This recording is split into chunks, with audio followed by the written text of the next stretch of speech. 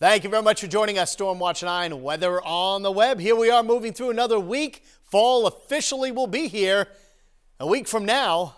The dry stretch continues, and we actually warm up a little bit over the next couple of days with the only shower chance, and it'll be a spotty shower on Thursday. Then it cools down for Friday into the upcoming weekend.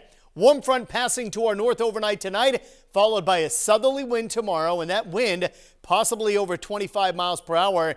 So a high brush fire concern due to a lot of sun, warmer air, in that busy wind. Of course, being in the drought doesn't help at all. Beyond that, cool front approaches on Thursday, where there are only shower chance between now and early next week. So here's a look at Futurecast. You'll notice for tonight and tomorrow, mostly clear skies outside of some of that smoke from some of the western wildfires making a hazy appearance to the sky cover. Then on Thursday, a blend of sun and clouds. Cool front moves through, starved for moisture. So while there could be a passing shower, most of the time looks to be rain free.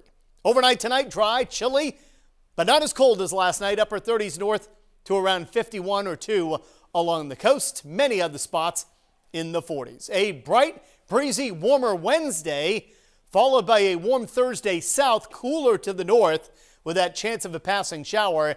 Any patchy clouds giving way to some sun, breezy and cooler on Friday, sunny, breezy, and cool on Saturday. Lots of sun Sunday and early next week.